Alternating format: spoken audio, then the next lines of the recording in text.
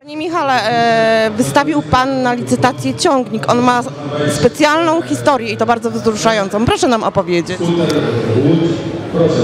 Mogę powiedzieć, mogę powiedzieć Państwu, mogę powiedzieć Państwu tyle, że to jest forma podziękowania za uratowanie naszego syna. Jest to historia sprzed czterech lat.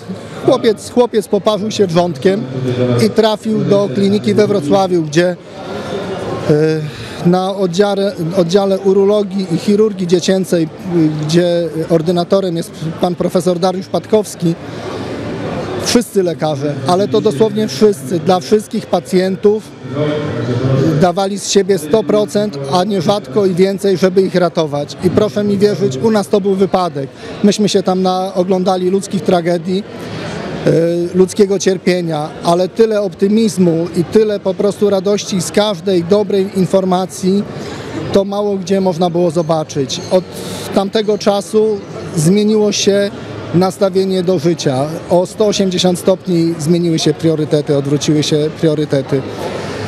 E, Ze mną jest córka Weronika, która po prostu y, w tym samym czasie, gdy syn był w klinice, miała, była operowana w Legnickim szpitalu, miała usuwane migdałki. I we Wrocławiu, i w Legnicy, niemal na każdym sprzęcie. Serduszka, Wielka Orkiestra Świątecznej Pomocy. Naprawdę dla nas to zaszczyt, że możemy pomóc. To forma podziękowania, jak rozumiem. Tak, jest to jak najbardziej forma podziękowania.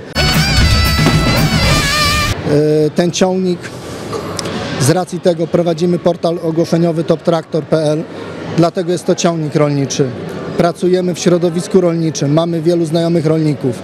Kilku z nich już licytuje. Obiecali nam, że wesprą nas, że będą licytowali. Trzymam ich za słowo, mocno. Nie zastanawiał się Pan e, ani chwili. Ostatnio nad orkiestrą i nad Jurkiem Owsiakiem zawisły czarne chmury. Wiele ludzi mówi, że to złe, e, że to co on robi jest złe, że jest złodziejem, hochsztaplerem. To samo można powiedzieć o mnie. Yy, Słuchajcie, szanowni państwo, to nie jest tak. Jeżeli ktoś pomaga komuś innemu, to po prostu trzeba pochylić czoła. Obojętne, czy ktoś ma po prostu poglądy z lewej strony, z prawej strony, nie ma to znaczenia. Wszystko jest po prostu w sercu, tak? W sercu Wielkiej Orkiestry Świątecznej Pomocy to, to, to jest jedno. Naprawdę nie ma znaczenia, kto kim jest, kto ma jakie poglądy. Bardzo szanuję ludzi, którzy potrafią powiedzieć o swoich poglądach, ale pochylą się nad drugim na ulicy. I za to bardzo cenię wszystkich, którzy pomagają.